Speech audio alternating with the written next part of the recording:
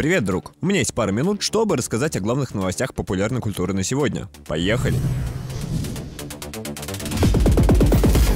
EA выкупила Respawn Entertainment, создателей Titanfall. Теперь студия работает над тремя проектами — новой игрой по Звездным войнам, некой VR-игрой и Titanfall 3.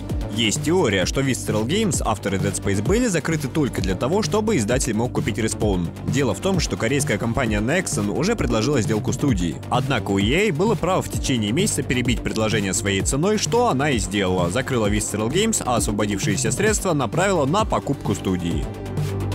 Тим Килпин, один из директоров Activision Blizzard, одобрил идею съемок полнометражного фильма по мотивам Overwatch. Он верит, что, как и киберспорт, экранизация положительно скажется на популярности и продажах игры, но если она и будет, то еще не скоро. Во-первых, компания будет жестко проводить контроль качества, снимать спустя рукава они никому не дадут. Во-вторых, сейчас они вовсю заняты комиксами и короткометражками.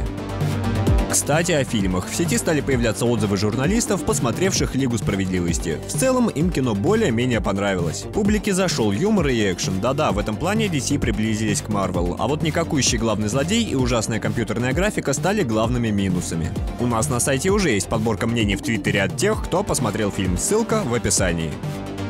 Blue Hole, авторы Battlegrounds, показали новый MMORPG Ascent Infinite Realm. На трейлер больно смотреть, глюки и падение фреймрейта есть прямо в нем. Сразу успокою фанатов PUBG. Поддержкой вашей игры с сентября занимается не Blue Hole, а отдельная студия PUBG.corp, так что хоронить ее рано. А так, новая игра выглядит как типичная корейская MMORPG, к тому же еще и сырая. Никто бы и не обратил на нее внимания, если бы не известный разработчик.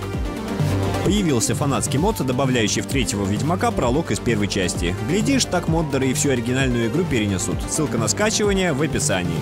В интервью IGN Гильермо Дель Торо выразил надежду, что через пару недель Кадзима по дружбе покажет ему геймплей Death Stranding. Сеньор Дель Торо, я тоже на это надеюсь.